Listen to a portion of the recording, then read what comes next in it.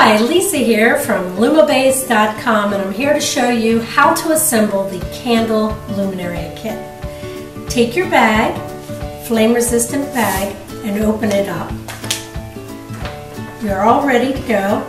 You take your LumaBase. It is non-flammable, weatherproof base. This is what is going to anchor your luminaria so it doesn't blow over in the wind. Simply pop a little cap, fill it with tap water, you could use sand if you'd like, but I use tap water because it's free. Pop the cap back in.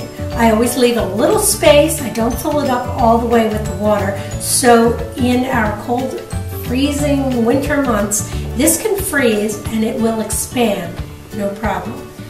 Then I take my candle and I pop it into the recessed area and it's nice and secure in there so it will not loosen and go near the bag. Drop this down inside your bag like so and now you're ready. You have your luminaria. All you need to do is line your walkway, stairs, steps, deck, pool, light the candle and you've got hours of glowing